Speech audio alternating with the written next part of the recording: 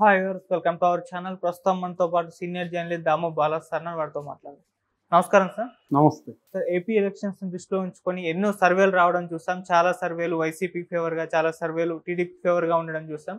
అయితే రేపటితోటి ఈ సర్వేలు ఏమి కూడా ఈ రోజుకే లాస్ట్ మరి ఇప్పటి వరకు వచ్చిన సర్వేలు చూసుకుంటే ఎన్ని వైసీపీ గెలుస్తాయని చెప్తుంది ఎన్ని టీడీపీ గెలుస్తాయని చెప్తుంది యా యాక్చువల్గా మనకి ఇప్పుడు జాతీయ స్థాయిలో కూడా సర్వేలు అనేకం వస్తున్నాయి. అదే రకంగా ఇప్పుడు ఆంధ్రప్రదేశ్లో ఏంటంటే అక్కడ లోక్సభతో పాటు అసెంబ్లీ ఎన్నికలు కూడా జరుగుతున్నాయి కాబట్టి ఫోకస్ ఎక్కువ ఉంది. సో జాతీయ మీడియాకు సంబంధించిన కొన్ని సంస్థలు సర్వే చేశాయి. అట్లాగే పొలిటికల్ కన్సల్టెన్సీ సంస్థలు కూడా కొన్ని సర్వే చేశాయి. అట్లా దాంతోపాటు కొంతమంది సీనియర్ జర్నలిస్టులు సీనియర్ పొలిటికల్ అనలిస్టులు వీళ్ళంతా కూడా సర్వే చేశారు. ప్రతి ఒక్కరు కూడా మేము సైంటిఫిక్ పారామీటర్స్ ఫాలో అవుతున్నాము. ర్యాండమ్గా ఎంతమందిని తీసుకొని శాంపుల్స్ సర్వే చేస్తున్నాం అనేది అందరూ చెబుతున్నారు. సో ఇప్పుడు ఈ రోజుతో ఇది సర్వేలు ఇంకా రేపటి నుంచి సర్వేలు అనౌన్స్ చేయకూడదని ఎలక్షన్ కమిషన్ చెప్పింది. ఎందుకంటే రేపు నామినేషన్ స్టార్ట్ అవుతుంది కాబట్టి ఇంకా సర్వేలు ఉండకూడదు. ఎలక్షన్ తర్వాత మాత్రమే ఎగ్జిట్ పోల్స్ అంటారు వాటిని అప్పుడు అవి ఉంటాయి తప్ప ప్రీ పోల్ సర్వేలు అనేవి ఇంకా ఉండవు కాబట్టి ఇప్పుడు ఏం జరుగుతుందంటే ఇటు తెలుగుదేశం తరపున తమకు ఎన్ని సర్వేలు గొప్ప అని చెప్పుకుంటున్నారు. ఇటు వైసీపీ తరపున సర్వేలన్నీ వైసీపీనే వస్తుందని వాళ్ళు సర్వేలన్నీ తెలుగుదేశం కూటమే వస్తుందని వీళ్ళు ఇలాగే చెప్పుకుంటున్నారు. సో అసలు నేను ఒక లిస్టు తయారు చేశాను. మనకున్న సోర్సెస్ని బట్టి. ఇది సమగ్రం అయితే కాదు. ఎందుకంటే నా నా దు నా దృష్టి నుంచి కొన్ని తప్పించుకొని ఉండొచ్చు కూడా. సో నాకు నేను అనేక సర్వేలు మన ఛానల్లో కూడా నేను చెప్పాను. వాటి అన్నిటిని బట్టి నేను ఒక లిస్ట్ తయారు చేశాను.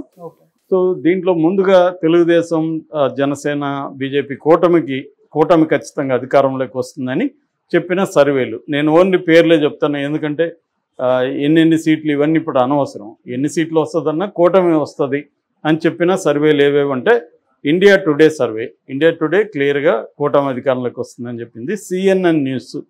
ఆ సర్వే కూడా తెలుగుదేశం కూటమి ఇండియా టీవీ దీని గురించి కూడా మనం చెప్పుకున్నాం. అట్లాగే ABP news and C voter survey ఇది మళ్ళీ రీసెంట్గా కూడా నిన్ననే వచ్చింది ఇది.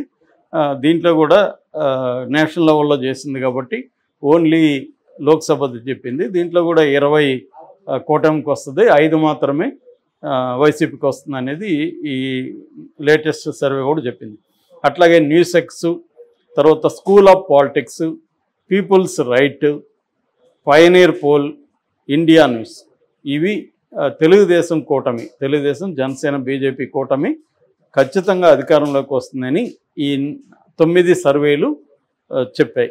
ఇది ఈ లిస్ట్ ఇప్పుడు వైరల్ అవుతుంది కూడా వాళ్ళు వైరల్ చేస్తున్నారు.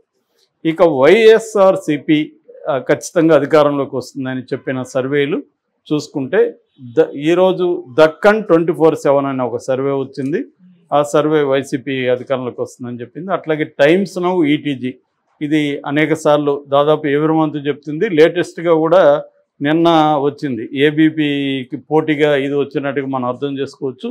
ఈ సర్వే ఏం చెప్తుందంటే పంతొమ్మిది నుంచి ఇరవై వైసీపీకి వస్తుంది. ఐదు నాలుగు నుంచి ఐదు నుంచి ఆరు వీళ్ళకి వస్తుంది. కూటమికి అనేది ఈ సర్వే చెప్తుంది. క్వైట్ ఆపోజిట్ ఏబీపీకి టైమ్స్ ఓకే ఇక పార్దా పార్దాదాస్ చాణక్య కన్సల్టెన్సీ ఇది నేను ఆల్రెడీ చెప్పాను. పార్దాదాస్ అని బెంగళూరు అతను. ఇతను కూడా క్లియర్గా వైసీపీ అధికారంలోకి వస్తుందని చెప్పాడు. అట్లాగే న్యూస్ అరేనా ఇండియా ఎలక్షన్స్ అనే ఒక సర్వే చేశారు. ఈ అది కూడా రీసెంట్గా చేసింది. ఇది కూడా వైసీపీ వస్తుందని. అట్లాగే జీనియస్ మ్యాట్రిజ్ ఇది కూడా వైసీపీ అధికారంలోకి వస్తుందని చెప్పింది.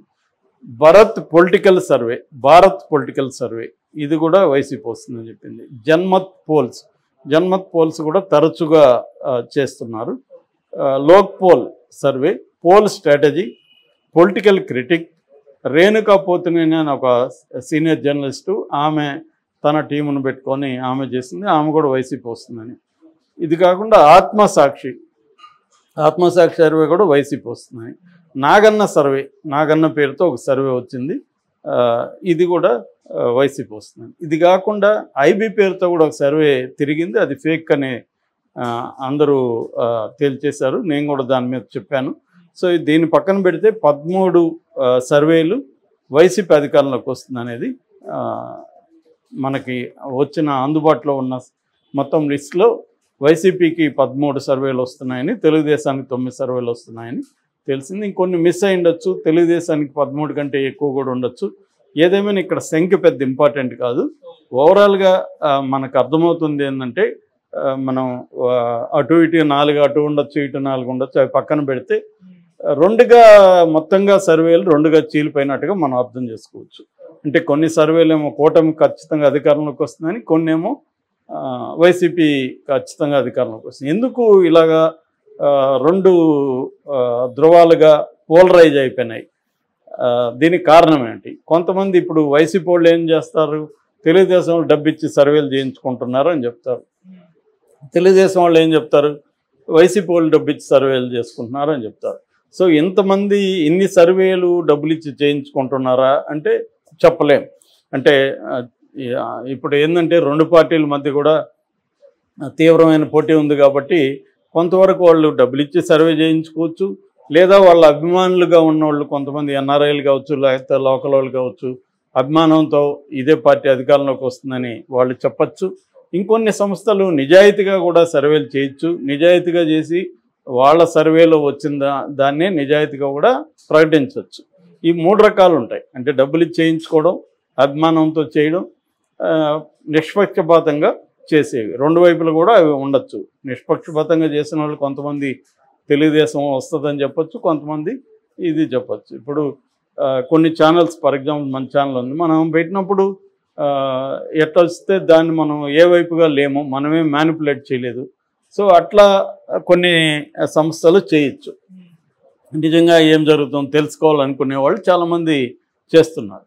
సో ఇప్పుడు మనం డబ్బులు ఇచ్చేది అభిమానం అనేది పక్కన పెట్టేస్తే ఎందుకంటే డబ్బులు ఇచ్చేవాళ్ళు ఎలాగూ మా పార్టీ అధికారంలోకి వస్తుందని చెప్పనే కదా ఇస్తారు డబ్బులు. సో కాబట్టి నేచురల్గా ఒక పార్టీ వైపే వాళ్ళు ఉంటారు. ఇక రెండోది అభిమానులు కూడా ఒక పార్టీ వైపే ఉంటారు. సో మూడో విశ్లేషణ మనకి ఇంపార్టెంట్. నిజాయితీగా చేసే వాళ్ళు కూడా ఎందుకు చీలిపోయారు? కొంతమంది వైసీపీ వస్తుందని కొంతమంది తెలుగుదేశం వస్తుందని రెండు వైపులు కూడా నిజాయితీగా చేసిన వాళ్ళు ఉన్నారు. ఎందుకు ఈ పరిస్థితి ఉంది? ఎందుకు ఇంత పోలరైజ్డ్గా ఇవి ఉన్నాయి? అనే విషయాన్ని కానీ ఆలోచిస్తే అది ఒక రియాలిటీని రిఫ్లెక్ట్ చేస్తుంది ప్రతిబింబిస్తుంది. రియాలిటీ ఏంటంటే ఆంధ్రప్రదేశ్లో స్వీపింగ్ అనేది లేదు. ఎక్కువగా పల్స్ ఇంకా ఓటర్ పల్స్ అనేది ఇంకా అందరికి అందట్లేదు అనేది మనం అర్థం చేసుకోవచ్చు. టూ థౌజండ్ నైన్టీన్లో ఒకసారి మనం వెళితే అప్పుడు కూడా వైసీపీ ఇంత స్వీప్ చేస్తుందని ఎవడు కళ్ళ కూడా ఊహించలేదు. ఎవడు చెప్పలేదు వైసీపీ స్వీప్ చేస్తుందని. నిజానికి వైసీపీ వాళ్ళు కూడా అనుకోలేదు. నూట యాభై సీట్లు వస్తాయని వైసీపీ వాళ్ళు కూడా కళ్ళగన్నారు అంతకుముందు అరవై ఏడు వచ్చి అరవై ఏడు ఎక్కడ నూట యాభై ఒకటి ఎక్కడ?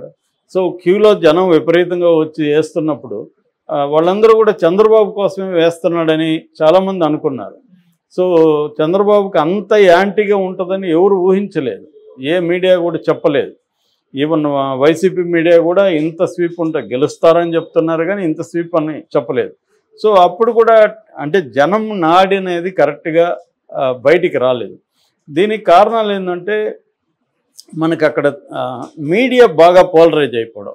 మీడియా ఏం చేస్తుందంటే రియాలిటీని కాకుండా తమకు కావాల్సిన విధంగా ప్రజాభిప్రాయాన్ని మలచడం కోసం మీడియాలో వార్తలు వ్యూస్ న్యూస్ అన్నీ కలిసిపోయినాయి అభిప్రాయాలు. అసలు ఇటు తెలుగుదేశాన్ని సపోర్ట్ చేసే మీడియా అటు వైసీపీని సపోర్ట్ చేసే మీడియా ఎలా అయిపోయినాయంటే వాళ్ళు అసలు వార్తలు ఇవ్వడం ఎప్పుడో మానేసి తమ అభిప్రాయాలనే వార్తలుగా చెప్పేయడం తమకు ఏమనిపిస్తే అదే వార్తగా రాసేయడం అలే అనేది ఎప్పుడో స్టార్ట్ అయిపోయింది. అందువల్ల జనంలో ఏమైందంటే వాటి మీద నమ్మకం పోయింది. ఒక పత్రికలో వచ్చే వార్తని ఒక టీవీలో వచ్చే వార్తని ఎవడు కూడా ప్రేమపేసి నమ్మట్లే. ఇంకొక దాన్ని కూడా చెక్ చేస్తున్నారు. ఓహో ఇది వాళ్ళ పార్టీ కాబట్టి చెప్పుంటారేమోరా ఏం జరిగింది అని వేరేవి చెక్ చేస్తే కానీ వాళ్ళు నిర్ధారించుకోవట్లే. అటువంటి ఒక పరిస్థితి వచ్చేసింది. ఒకప్పుడు పలాంటి పత్రికలో న్యూస్ వచ్చిందంటే నమ్మేవాళ్ళు. ఇవాళ ఎవరు నమ్మట్లే. దేంట్లో వచ్చిందని అడుగుతున్నారు. ఒకవేళ న్యూస్ చెప్తే. నువ్వు దీన్ని దేంట్లో చూసావు అని అడుగుతున్నారు మనల్ని. ఫలాన్ దాంట్లో చూసామంటే అది నమ్మలేములే అంటున్నారు. ఇప్పుడు సాక్షిలో వచ్చిందంటే అది అంతే కదా. జ్యోతిలో అంటే అది అంతే కదా అంటున్నారు తప్ప సాక్షిలో వచ్చి ఉంటే గ్యారంటీగా నమ్మొచ్చను ఈనాళ్ళు వచ్చి ఉంటే గ్యారంటీగా నమ్మొచ్చను ఎవడు ఇప్పుడు చెప్పట్లేదు అందువల్ల ఎవరైతే యాక్టివ్గా అభిప్రాయాలు ఎక్స్ప్రెస్ చేస్తున్నారో అదే నిజం అనుకునే పరిస్థితి ఉంది. సో ఇప్పుడు రూరల్ ఓటర్స్ సైలెంట్ ఓటర్స్ చాలామంది ఉన్నారు. వాళ్ళు వచ్చి యాక్టివ్గా ఈ సంస్థలతో మాట్లాడట్లేదు. అందువల్ల ఏమవుతుందంటే మనకి కరెక్ట్గా అభిప్రాయం అనేది ఈ సర్వేలు ఈ సర్వేలను బట్టి ఎవరు గెలుస్తారనేది ఎవరు కూడా చెప్పే పరిస్థితిలో లేరు.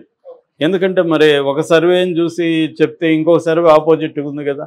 ఇప్పుడు ఏబీపీ సర్వేని చూస్తే నమ్మితేమో నువ్వు తెలుగుదేశం కూటమి వస్తుంది.